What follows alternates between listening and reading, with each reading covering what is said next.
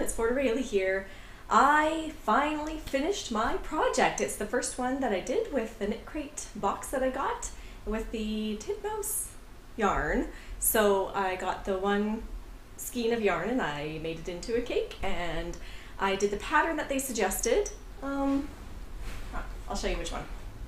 So I did the Solonel pattern, I think I said that right, and it's actually, it's that one there, and I did a bit of a looser weave than they did in the picture there, so um, like you can tell on this spot here, it's a bit of a tighter weave, and mine I did a bit uh, looser altogether, so I ended up not actually being able to do the whole pattern as they had it marked out in the magazine. I could only do about three quarters of it, mm, two thirds maybe, um, just because of that looser weave. So I ended up um, having to do the end stitch a little earlier than what the magazine recommended. So that kind of bumping stitch, picot, I think it's called, picot stitch, something like that.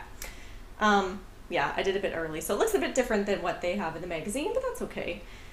And that's how that's how it looks. It's kind of long. I don't know if it's this long also.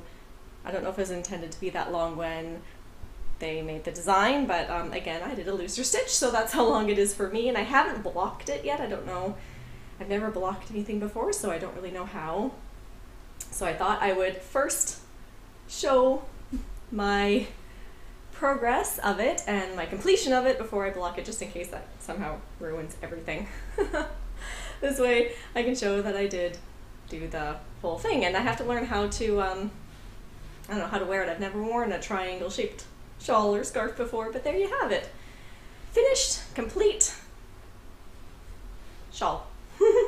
I hope you guys like it, and I hope you enjoyed uh, kind of how I made this video with all of the kind of clips put together on the making of it and then showing it off for the final product. So yeah, if you guys are interested at all in this kind of yarn or this company, um, it's the Knit Crate subscription box that I subscribe to. So you get once a month yarn and patterns. And yeah, this was March. I had to think about that for a second. This one was March. And hopefully I will have another one ready to show in a few weeks for the April yarn that I got. So we'll see, that's my next project I'm gonna start on. So thanks for joining me you guys and I hope you have a great weekend and I'll talk to you later. Bye!